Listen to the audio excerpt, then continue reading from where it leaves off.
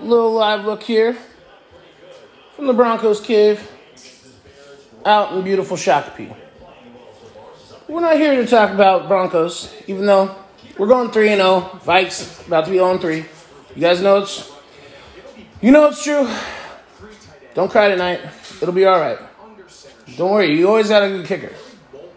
Either way, this week, Cody, you drew the short straw. You're catching an L. I'm about to beat your team's ass worse than I do Carter when he steps out of line. Let's have some fun, fellas. Dalvin, he's out, dude. Mattison, that boy's trash. I've tried playing him a couple times. That guy, awful. Team's not going to be the same without him. Scary Terry and Godwin, though, that kind of hurts. I got those guys in some other leagues, so I hope they go off. But the rest of my squad's going to roll. Let's go, y'all. Week three. Get ready.